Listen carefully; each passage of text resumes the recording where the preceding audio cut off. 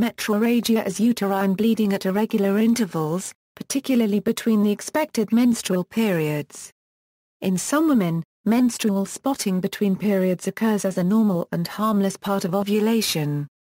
Some women experience acute mid-cycle abdominal pain around the time of ovulation. This may also occur at the same time as menstrual spotting.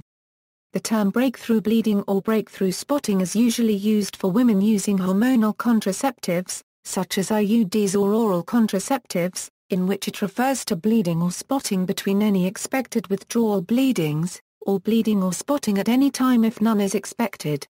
If spotting continues beyond the first three cycles of oral contraceptive use, a woman should have her prescription changed to a pill containing either more estrogen or more progesterone. Metrorrhagia may also be a sign of an underlying disorder, such as hormone imbalance, endometriosis, uterine fibroids, or cancer of the reproductive organs. Due to repeated and heavy bleeding, it can cause significant iron deficiency anemia. Cause Intermittent spotting between periods can result from any of numerous reproductive system disorders. See also, menometrorrhagia, menstruation.